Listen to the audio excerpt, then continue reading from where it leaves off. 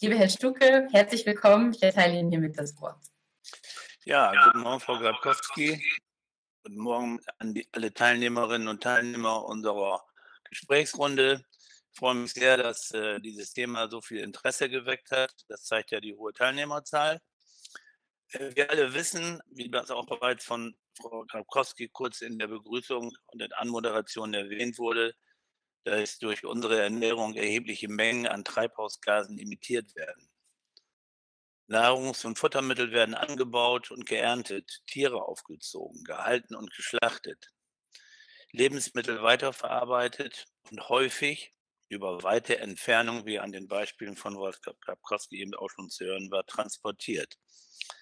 Auf allen diesen Stufen werden CO2-Emissionen frei. Und es geht weiter. Lagerung und Kühlung im Supermarkt und zu Hause auch beim Endverbraucher sorgen ebenso für Emissionen wie schließlich auch die Zubereitung. Verzehr und mitunter auch Entsorgung. Zu diesen direkten Emissionen treten indirekte Effekte, wenn zum Beispiel Grünland in Ackerland umgewandelt wird oder Regenwald abgeholzt wird, um Weideland zu gewinnen. Die Betrachtung der direkten und indirekten Treibhausgasemissionen entlang der Wertschöpfungskette bis hin zum Verbrauch macht bereits zwei Dinge deutlich. Erstens, die Klimawirkung unserer Ernährung zu ermitteln, ist ein enorm komplexes Vorhaben. Wissenschaftliche Untersuchungen kommen zu sehr unterschiedlichen Ergebnissen. Je nach Studie liegt der Anteil der nahrungsbedingten Treibhausemissionen bei 10 bis 40 Prozent. Klar ist aber, es handelt sich um einen erheblichen Faktor. Zweitens, so vielfältig die Ursachen ernährungsbedingter äh, Treibhausgasemissionen sind, so zahlreich sind auch die Ansatzpunkte, diese zu reduzieren. Produzenten, Handel und Verbraucher müssen dazu an einem Strang ziehen.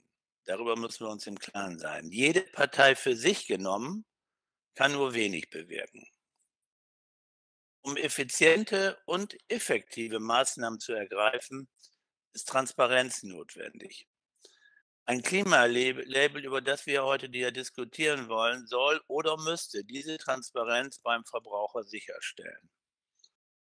Heute kann ein Durchschnittskonsument am Supermarktregal ohne weitere Informationen kaum nachvollziehen, welchen CO2-Fußabdruck ein bestimmtes Produkt hinterlässt.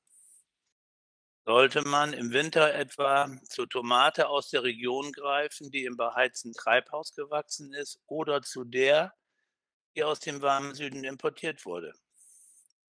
Untersuchungen zeigen, dass Verbraucher Lebensmittel wie Fleisch, Käse und Gemüse hinsichtlich ihrer Klimabilanz grob in die richtige Reihenfolge bringen können. Die tatsächlichen Klimawirkungen der Produkte werden allerdings konsequent unterschätzt.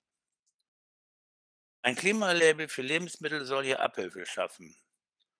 Doch kann es tatsächlich zu mehr Transparenz beitragen und in der Folge auch zu, und das ist der ganz entscheidende Punkt, zu einer Verhaltensänderung führen. Den ersten Teil dieser Frage wird man unter Umständen bejahen können. Beim zweiten Teil habe ich aber doch erhebliche Zweifel. Eine Flut bereits bestehender Labels und Kennzeichnungen zeigt, dass die erwünschten Wirkungen oft nicht erreicht werden. Sicher ist hingegen die Kostenwirkung auf Seiten der Hersteller. Insbesondere, das möchte ich nochmal ausdrücklich an, bei verpflichtenden Labels. Vor- und Nachteile eines Kleberlabels müssen deshalb kritisch gegeneinander abgewogen werden.